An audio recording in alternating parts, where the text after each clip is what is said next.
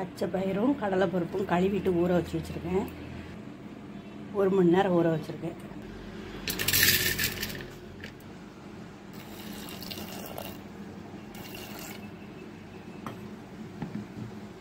இது ஒரு மூணு விசில் விட போகிறேன் தேவையான அளவுக்கு தேங்காய் ரெண்டு ஏலக்காய் வாசனைக்காக போட்டு அரைக்க போகிறேன் தண்ணி ஊற்றி கொஞ்சோண்டு எண்ணெய் ஊற்றிருக்கேன் இப்போ கல் உப்பு.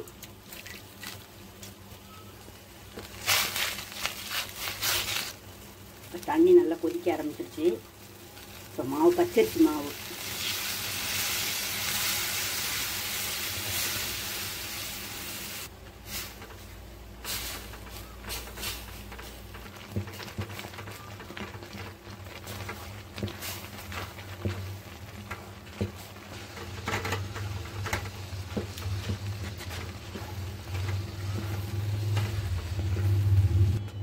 இப்போ அடுப்பு ஆஃப் பண்ணிட்டேன் இப்போ இறக்கி வச்சு நல்லா கிளறணும்.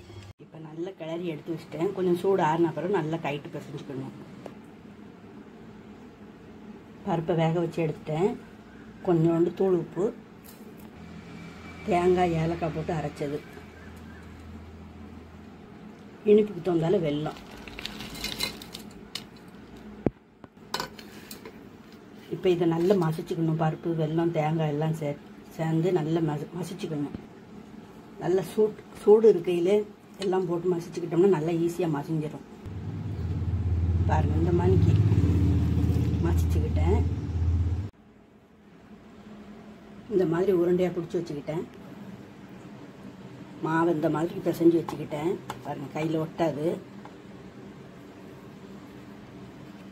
இப்போ இது குழக்கட்டை அந்த பூரணத்தை எடுத்து இந்த இதில் வச்சு வேக வைக்க போகிறேன் இந்த மாதிரி தடவிட்டு இந்த பூரணத்தை உள்ளே வச்சு அப்படியே மடைக்க வேண்டியதுதான். தண்ணி சூடாக்கிட்டு இருக்குது.